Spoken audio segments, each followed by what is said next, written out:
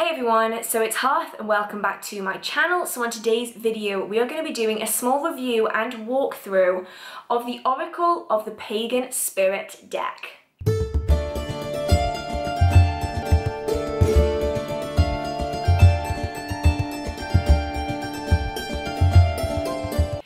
Now this is a really unusual deck that not that many people have heard of, so I really, really wanted to talk about it on this channel. This is actually a self-published deck by two amazing individuals that I've had the chance to meet at events in person. It was created by Edwin Courtenay and Andrew Helm, and they are a pair of artists that create the most beautiful artwork as prints, and they also publish their own oracle decks. Now at one of the recent events, I had the chance to pick up this particular deck. I think they have three decks published at the moment and I had the chance to pick up this deck because I connected with the artwork so, so deeply. As you guys know, I really love self-published decks. I love supporting them, I love working with them. There's just something about the artwork and how personal it is in a self-published deck that I often think you don't find in a mass-produced deck. So I wanted to share with you this particular deck. Now I want to say that this isn't available on Amazon. This isn't something that you can just buy on eBay. It's something that you can only get, at least as far as I know, through their particular website. So I'm hoping that you guys will also be able to get this deck if you want to. I think it's wonderful to support small creators like this. They do some amazing artwork and they also do these amazing decks.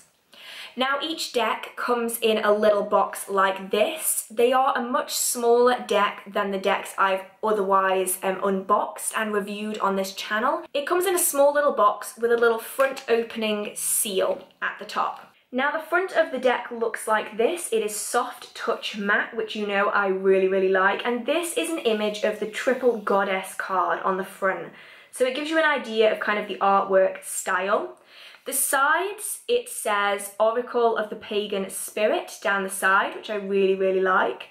And then on the back, it tells you a little bit about the deck, which I'll read out to you guys. It says, the Oracle of the Pagan Spirit is a fantastical journey into the realms of the old gods, the spirits of the underworld, and those magical practitioners who serve them designed to be both an oracle of divination and a series of evocative images that can be used in meditation and invocation.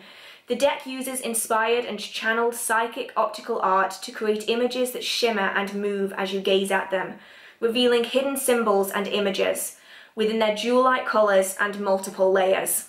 Take a journey down the hidden pathways of the goddess Elen, with the cunning man by your side to visit the elemental kings, Call upon the power of the Morrigan to fortify your courage, or the healing powers of the goddess of spring. Reawaken your magic and discover new allies of the power in the hidden world of the pagan spirit. The deck has been lovingly created by Andrew Helm, astrologer and artisan, and Edwin Courtenay, a spiritual teacher, magician, and optical artist, under direct inspiration from the gods. It is their offering to the spirit of pagans everywhere, in perfect love and perfect trust. Now I have to say that everything they've said on the back there is really, really accurate. The images are created in this way where you can actually almost see the individuals in each card shift and move as you're looking at them and it makes for some really trippy experiences. There's just something so unusual and magical about the way it's being done and I love the artwork. I think it's absolutely stunning and it's so different from any other deck that I have ever had the chance to work with. So at the very bottom, it does say two websites, which is edwincourtenay.co.uk and spiritlightgallery.co.uk. As always, the links to this deck will be down in the description box if you do want to get it. So the deck itself opens up at the front like this just pops open like that with a white interior. Now I'm definitely going to be less scrupulous with this deck than I usually am because it's a self-published deck. I'm not expecting what I would expect from a mass-produced, you know, million pound investment into a deck of cards. I'm just not going to. These are created with love by two individuals that are very passionate about what they do. And honestly, the artwork and the deck itself speaks for itself. The packaging is really beautiful. It's so nice. I actually really enjoy it. It's simple, it's minimalist. I really like it and it works really well with the deck inside. So I do really appreciate it, but I'm definitely not gonna be quite as scrupulous as I would be if it was a really expensive mass-produced deck, in which case I do think that some companies need to improve their packaging. But for this, the deck speaks for itself, and you'll see what I mean when I get into showing the cards. Now each deck does come with a guidebook. This wasn't in the box, it doesn't fit in the box, this is separate to the box, at least as far as I remember anyway.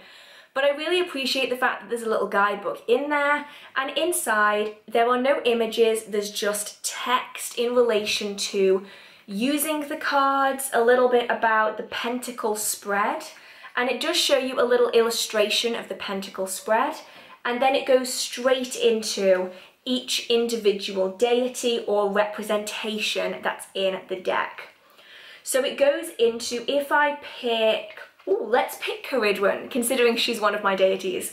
So it will say Ceridwen, and then it says Goddess of Transformation, and then it goes into a little bit about the goddess, and it says, Ceridwen is a powerful ancient Celtic goddess associated with the dark goddess Current, who is associated with wisdom, magic, shape-shifting and transformation. Her most famous story being that one of her potion of wisdom brewed for her ugly son that needed stirring for a year and a day, a job she hired out to the local youth Gwion. Burning his finger on a splash from the cauldron, Gwion brought his finger to his mouth, swallowing the potion and ruining the batch, but gaining great wisdom as a result. Gwion fled, pursued by Ceridwen, and a glorious shape-changing chase ensues, resulting finally in Ceridwen consuming the boy when he transforms into a grain of corn, and she a hen. Later, Ceridwen gave birth to the reincarnated Gwion before throwing him into a river to die. And then it goes a little bit into the meaning of drawing this card, and it says, Ceridwen is a presence who speaks to you of alchemy and transformation, where that which is being transformed is you. She speaks to you about claiming your power, your wisdom, and your magic by daring to dissolve yourself within her cauldron of magic. She suggests this is needed in order for you to change your shape so that you might better adapt yourself to the new situation in your life that may require you to hold an energy that is all new to you. Surrender then now to her power and allow her to consume you, that in time you might be reborn anew. So I love how it all interconnects together. Each card can be used for meditation, for connecting with the deity, for working with them, tells you a little bit about them, but they also have their own meaning in relation to the folklore, mythology and experiences with that particular deity and being and I really, really like that.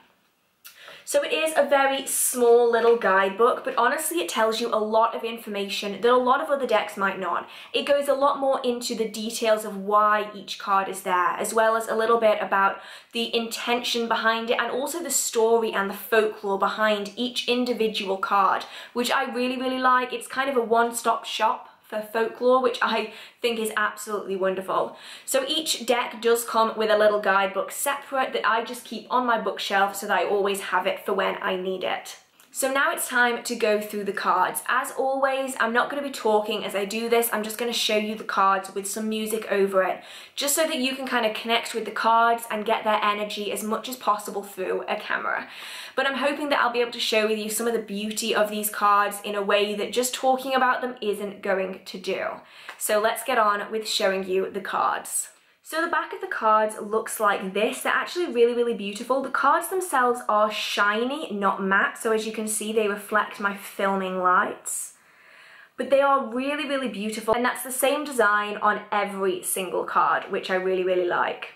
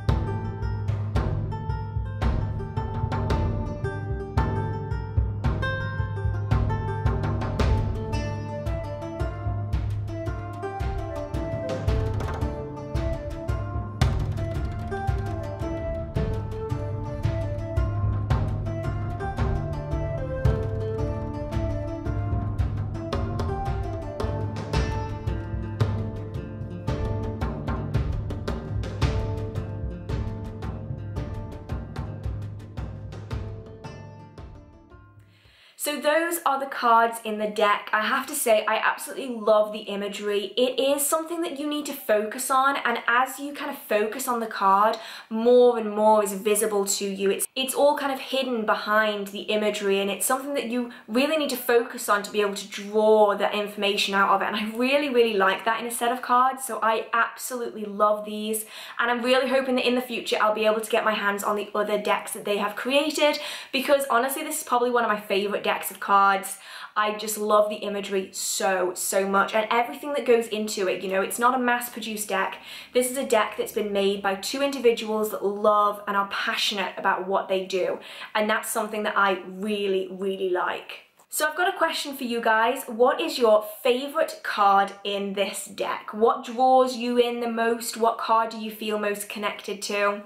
For me, the card that I feel most connected to is this one. This is the Wise Woman. There's a few in this deck that I love. I love Ceridwen, I really love Hecate, I love the Green Man, but this one is probably my favourite of all of them. I don't know what it is about it. There's just something so beautiful and wise about it. I don't know what it is. I've noticed there's a pattern in all of the cards I really like in the decks is it always has this idea of ancestors and um, wisdom and guidance behind it. So this is my favourite, but I would love to know what your favourite card in this deck was and why. Is it because they're your deity? Is it someone that's calling out to you? Is it because of the imagery or the meaning? I would really, really love to know. As I mentioned before, I'll be putting all of the links down in the description box if you do want to check the artwork or the decks out. I have to say that they are a truly wonderful company and I absolutely love the energy that they give off and the artwork and the decks. I really, really like them. And I know I say that about a lot of companies, but that's mainly because all of the companies I talk about on this channel I really, really like. But I absolutely love what they're doing and I think they well deserve anyone's support if you do feel really drawn to these particular cards. So I want to say thank you guys so, so much for watching. If you did enjoy it, feel free to give it a like. It really, really means so much to me and it shows that people enjoy the content that I'm putting out. If you do have any questions, comments, concerns, video ideas, or just want to chit chat with the community down in the comment section, feel free to post a comment. And if there are any decks you would like me to do walkthroughs for in the future, maybe ones that you've been curious about buying or that you're really interested in, feel free to leave them down in the comment section as well, and I will do my best to kind of work my way through them over time. And if you do enjoy the magical content on this channel or in this video, feel free to hit subscribe. I do try my best to post magical content every Wednesday and every Saturday at 6pm. So I want to say thank you guys so, so much for watching. I hope you have a marvellous magical day and I will see you in the next video. Bye!